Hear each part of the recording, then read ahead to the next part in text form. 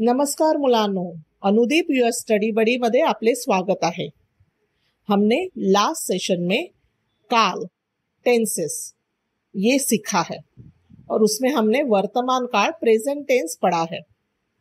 तर आपण ह्या सेशनमध्ये शिकूया भूतकाळ पास्ट टेन्स चला तर सुरू करूया. जसं आपण लास्ट सेशनमध्ये शिकलो की काळाचे तीन प्रकार पडतात.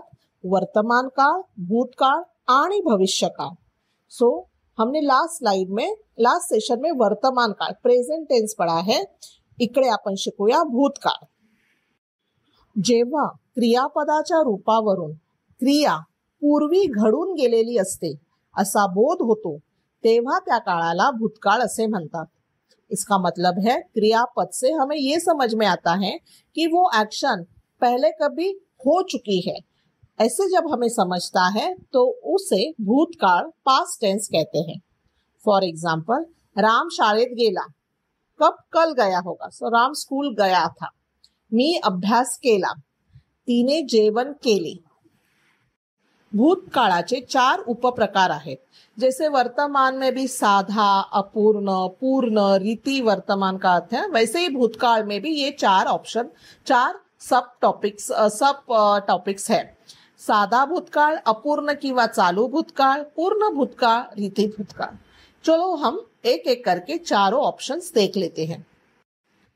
साधा भूतकाळ एखादी क्रिया ही अगोदर घडून गेलेली असते व त्या संदर्भात जेव्हा बोलले जाते, तेव्हा त्या काळात साधा भूतकाळ म्हणतात. इसका मतलब ये है कि एक एक्शन हो चुकी है और मैं अब उसके बारे में बात कर रही हूँ तो उसको सादा भूतकाळ बोलते हैं।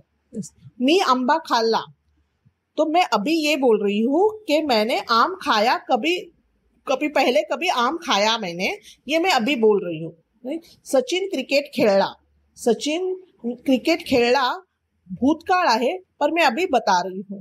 तेजस्वी रस प्याली। सो तेजस्वी जूस जेजस्वीनी ज्यूस पिया पहिले कभी तो और मैं अब बता रही हूँ।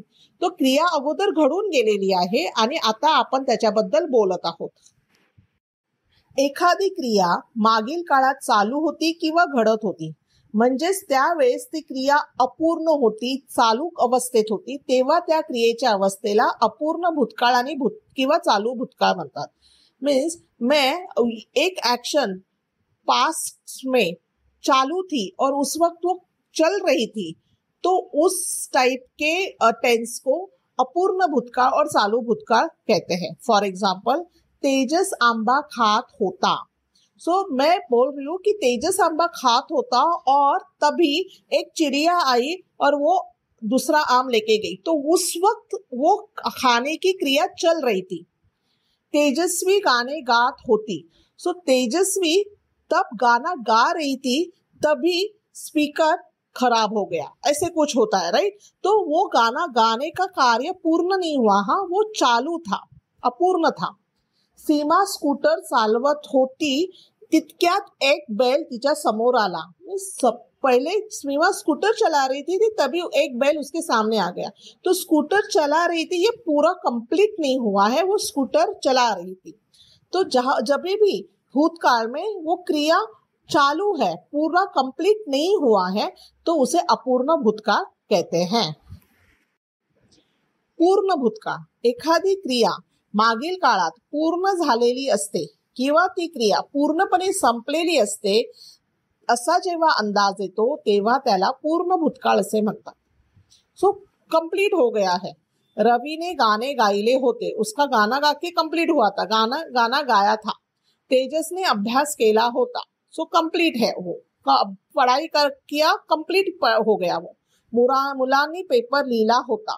तो ये, इस टाइप में जो है पास्ट टेंस में वो क्रिया कंप्लीट हो गई है, उसे बोलते हैं पूर्ण भूतकाळ रीती भूतकाळ भूतकाळात एखादी क्रिया सातत्याने घडत आलेली असून, ती क्रिया पूर्ण देखील झालेली असते, अशा काळाला चालू पूर्ण भूतकाळ किंवा रीती भूतकाळ म्हणतात.